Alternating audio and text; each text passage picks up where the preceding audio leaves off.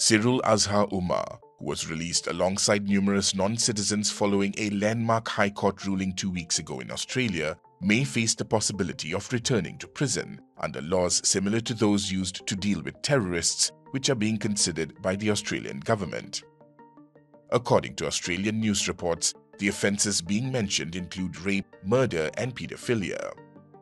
Sirul, who is facing the death sentence in Malaysia for the murder of Mongolian Altantuya Shaariibuu, together with former police colleague Azilah Hadri, is consistently referred to as a hitman who blew up the body of a pregnant Mongolian woman after killing her in most of the Australian news reports.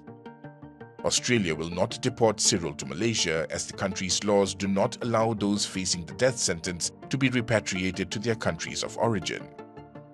According to the Sydney Morning Herald, citing two sources, the government has sought legal advice on the prospect of using preventive detention style laws to re-detain non-citizens who had served jail time for offences such as rape and murder. The report said the government was seeking to learn if it had the authority to enact new rules before the High Court publishes the full reasons for its decision next year.